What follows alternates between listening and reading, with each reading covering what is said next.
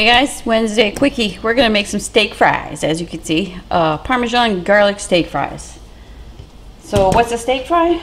Well, it's a little wider than a normal fry and a little thinner. So I'm gonna show you a little clip here how I sliced them up as best I can.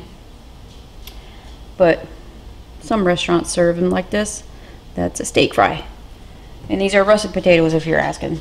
All right, so rinse them out, make sure they're dried up before they turn brown.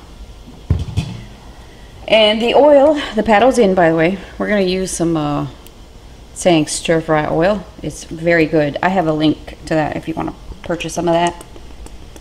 And put your normal tablespoon. We're gonna double fry these, you guys. They come out crispier. Okay. So everything's on high, bottom on, top four. Let's go. We're gonna do this for probably till they get golden brown and then we're to stop it and we're to let them cool for about 10 minutes and then refry them again. So I'll see you I'll let you know how long that was. Alright so we're up to 15 minutes. I'm to show you just get them gold.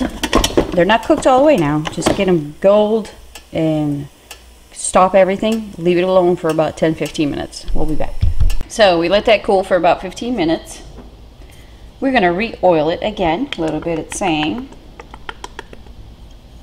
We're going to salt and pepper. Not too much salt because Parmesan is, is a little salty. Pepper.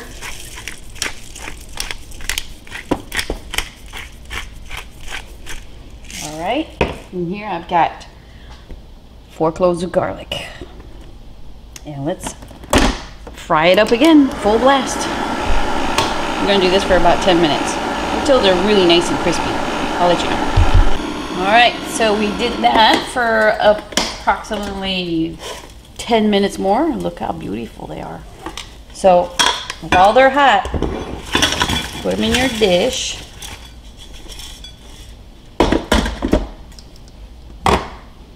Get some freshly grated Parmesan, about a quarter a cup. Yes. Now I've got some um, fresh parsley here. Just gonna sprinkle that up.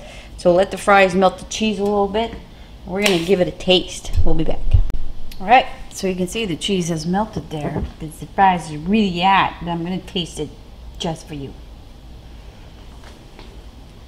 Look at that. Look at that, don't that.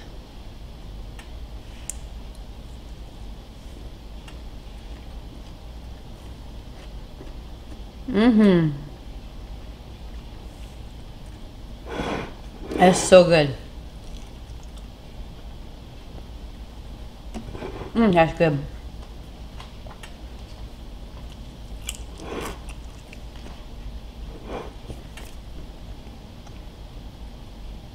They're cooked perfectly.